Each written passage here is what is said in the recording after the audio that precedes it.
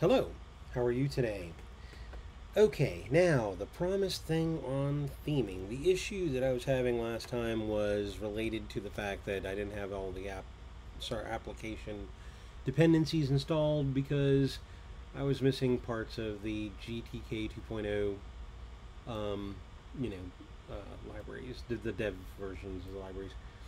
Anyway, as you can see, GNUstep has a GTK theme here. We're using a lot of the GTK widgets, as you can see here, and there are some that are custom for GNUstep only because GTK does not have versions of them.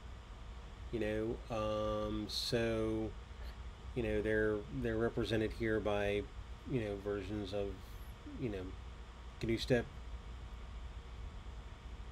controls so, but it's taken on a very sort of like GTK theme here.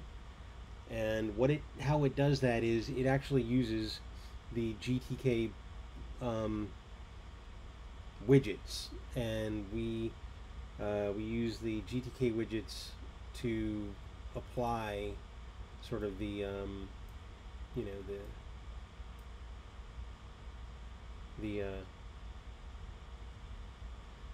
the look. I apologize for my lack of words here. Um, yeah, so we use it to apply the look, and we do the very same thing with the Windows theme, which I will show you guys tomorrow. Um, because what it does is it basically uses the WinUX theme in order, uh, DLL, in order to render the widgets and display them on screen. So we are using the native uh, functionality, the native widgets that are actually the ones that are supposed to be drawn by either GTK or by um, by Windows. Um, but GNUstep has two types of themes really.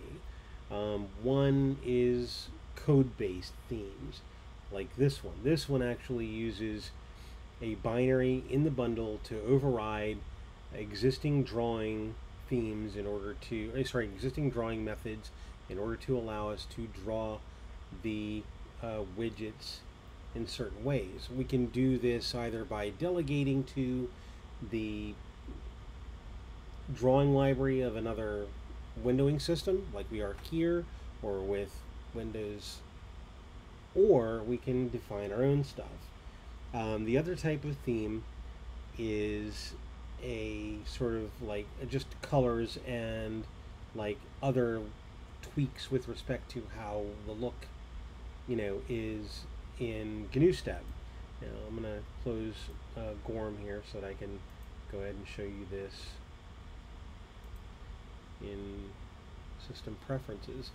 Now, um, I have been using a theme that I call darkness because what it does is it uses the same color scheme as Mac OS 10, very similar colors. Um, I tried to match them as close as possible. So if I click this in System Preferences and then I do Apply, it will stay for a little bit and I think it will switch back after a certain number of seconds. I'm not sure. We'll see. Nope, it doesn't. Um, but uh, I click on GNUstep and hit apply, I get the default look. Okay, there are a number of other themes that are available. I don't have them installed here, but as you can see, the app changes its look as soon as I hit apply or save. Um, and so what this should do is when I hit save, it should do this across all applications that are currently running. Um, not only that, um, I don't have the capability to just demonstrate this right now, but if I if GTK has different themes, or you know, conversely, I mean not conversely, but of course by extension, you know, Windows, uh, it will change themes when I go into the GTK preferences manager and change the themes there because we are using GTK's or Windows's, you know, uh, theming package in order to draw our widgets. So, anyway, there you have it.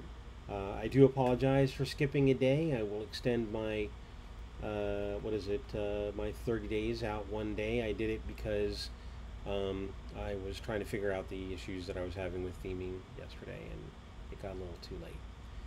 Anyway, so thank you guys for your kind attention. Oh, and by the way, I am demonstrating here on Linux Mint, as you can see. Um, so, but uh, thank you guys for your kind attention, and um, I will see you tomorrow.